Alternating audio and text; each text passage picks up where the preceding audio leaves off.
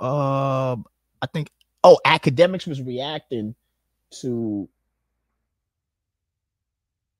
Adam 22, Lena. DJ Akademiks reacts to Adam 22 and Lena the plug interview. Okay.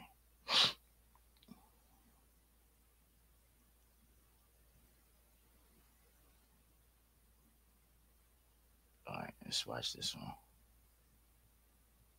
He did a podcast with his wife after his wife fucked.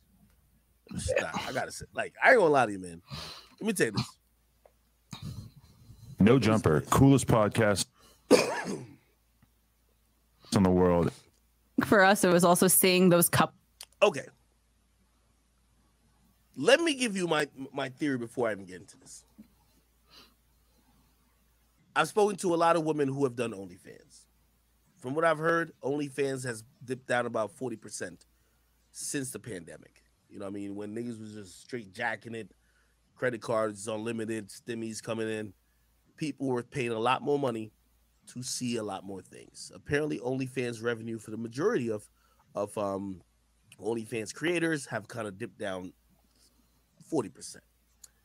Now, what I think Adam and Leonard are doing is a straight business decision. Now, again, my only question is like, bro, you know, certain things are bigger than business.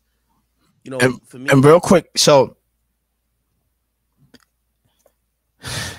yo, people become very detached. When you are in the space that Adam is in, it's a different caliber of thinking.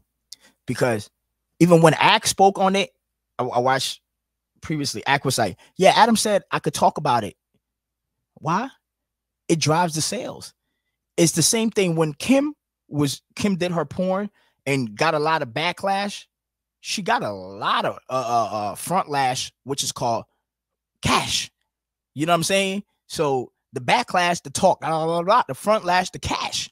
You know what I'm saying? She so while people are like, oh my god, we're disgusted.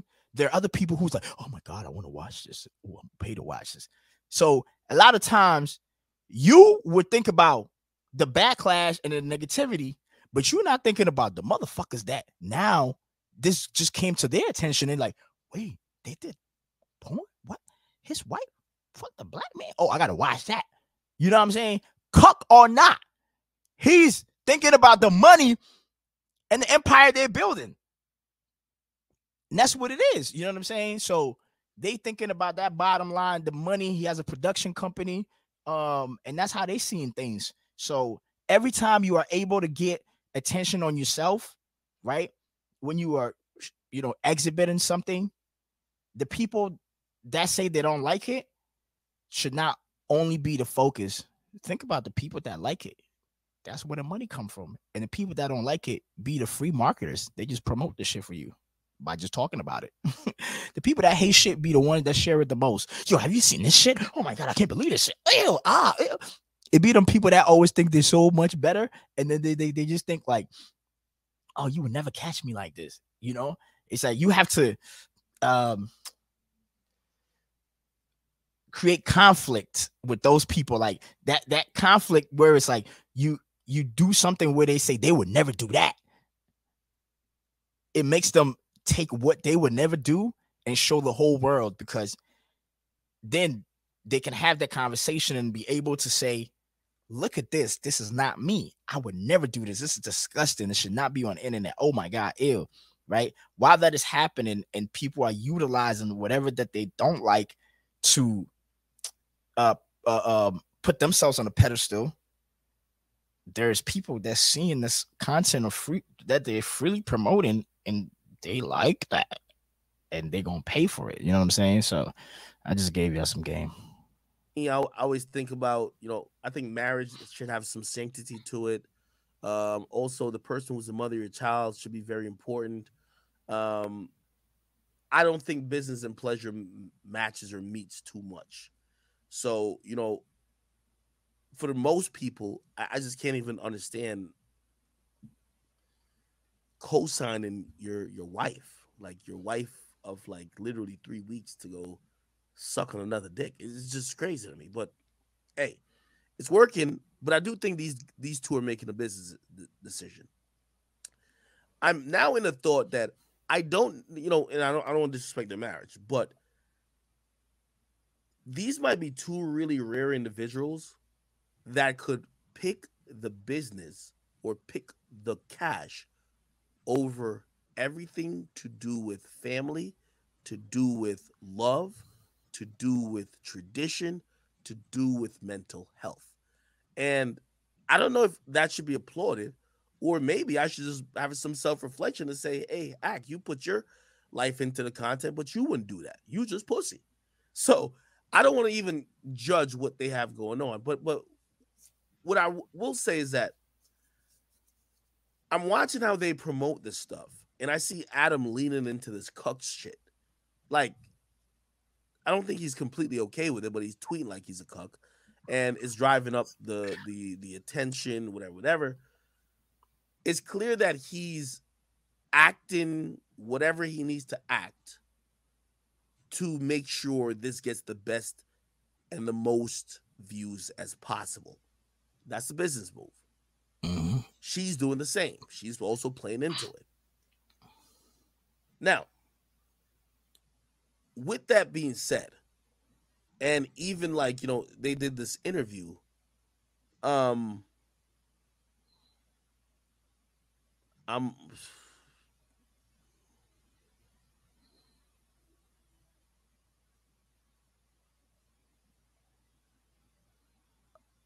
This is just my thought. I think Adam looked at this like this. With all due respect, no jumper was dead. After those dudes left, the fans were turned off of no jumper. They stopped watching. I don't believe Adam does this if he had the original cast that left. This to me is a fucking you, know when somebody about to die and, and they'd be like, yo, one, two, three, clear. Yeah. That's it. This is giving back life into no jumper.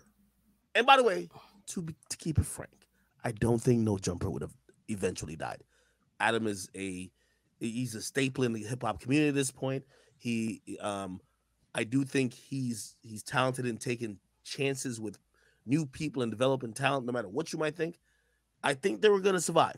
But rather than have this period like for example say Joe Budden podcast cuz that's all he was doing. He was he was having the moment that the Joe Budden podcast had when they kicked out the Stooges.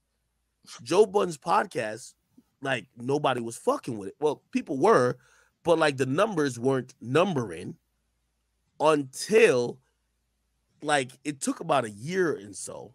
And I think with Adam, it's only been a couple months. And I think for him, he was just like, yo, shit, I don't have time to develop this new talent and shit like that. This is what I'm gonna do. I get new content by being able to milk this whole thing that we could talk about with me and my wife, right? So she's fucking a guy. We're gonna be talking about it on all our all our shows. We're gonna be viral. I'm gonna interview her. I'm gonna interview the nigga who put his cock in her mouth. I'm gonna interview the cameraman. I'm gonna interview the producer. I'm gonna introduce i- i- interview the nigga who collected the semen after. You go interview everyone, right? this is a great business move. Adam, in this whole thing, has given a shock and possibly life earlier than what I I, I never thought No Jumper was gonna die. By the way, he's given life to No Jumper. Her porn career. Remember, I told you OnlyFans been down. I don't care what you say, and Adam can tell me if I'm wrong. But let's look at pandemic year over year, and let's look at projections from I think maybe th- their shit was down a little bit. By the way, they're still millionaires, so I'm not saying this at nothing.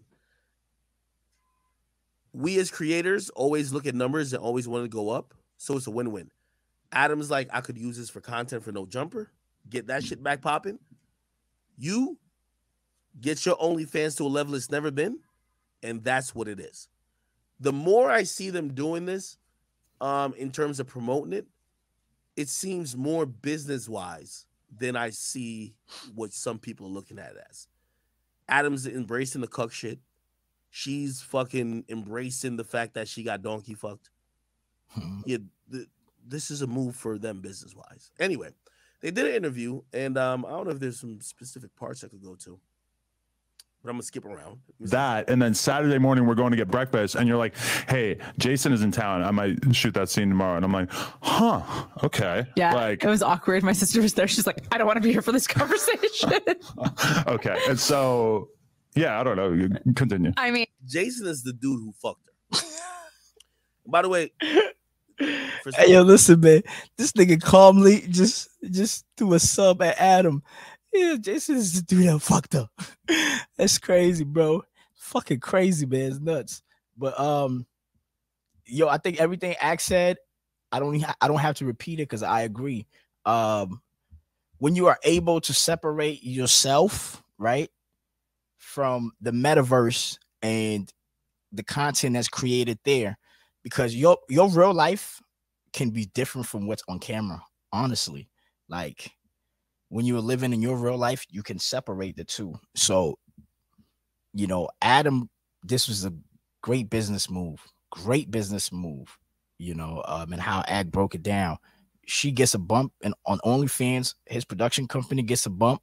You know, uh, the porn world looks at them like, oh wow, they willing to try this. What else are they gonna try? He gets to do a lot of interviews uh, you know, interview the Jason guy. He's just interviewing his wife right now. He can have a whole cuck channel. He can start a show where cucks go do interviews. Adam and Cucks. He could start a show called Adam and Cucks. Adam and Cucks is probably a brilliant idea that I just gave it to him for free. So what Adam does is he brings the guys who let their wives get fucked and interviews them, and then he interviews the wives, and then he interviews the guys and the wives together. You know what I'm saying? I think that's a fucking brilliant fucking um space in no jumper. And Adam should definitely look into making that shit fucking happen, man. Like dead ass, man. Dead ass. Adam and Cucks. Our executive produced that shit. A hundred percent. I think that's a fucking brilliant idea, man. Like, especially his black audience will love it because this is some shit that black black men. It's like, what's the word? We're afraid of that. Like, if a, a nigga has another man fuck his wife and people find out, like in the black community, it's like it's worse than how we look at snitches. Yo, niggas rather kick it with a snitch than kick it with a nigga who lets other niggas fuck his wife.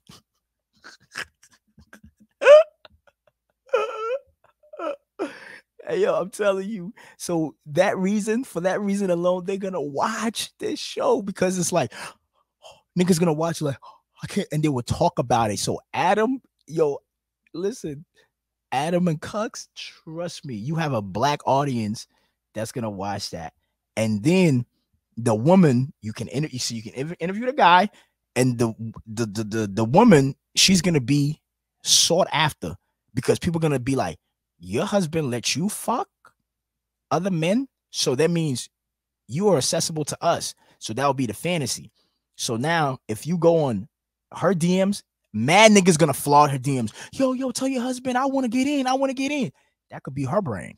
You know what I'm saying? Adam can definitely create a formula, replicate that, and do that shit. And Bito can executive produce that shit. Let's see what else. who said it's not real. He put his cock in her, bro. She tweeted out a video. The cock is deep in her belly. And, and then we, I just walked away. I was like, I think I'm gonna shoot with Jason tomorrow. And you were like, okay.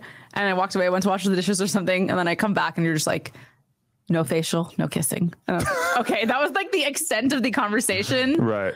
Um, and then I left the next day to do it, and you barely said bye to me because you were playing poker. I said bye. I mean, I'm playing eight tables at the same Yeah. time. I mean, it's kind of hard, but Um, and then I, I'm so glad that I was doing something that is like Oh, yeah. requiring of the most cognitive load possible. So it made it kind of hard to think about it while it was happening. And then by the time you got back home, I'm like basically like finishing up poker then. So I didn't really have a ton of room to think about it Yeah. while it was occurring, which was nice it was the best place for you to be for sure. because that is kind of my happy place that I don't get Yeah. to do very often. Yeah. Yeah.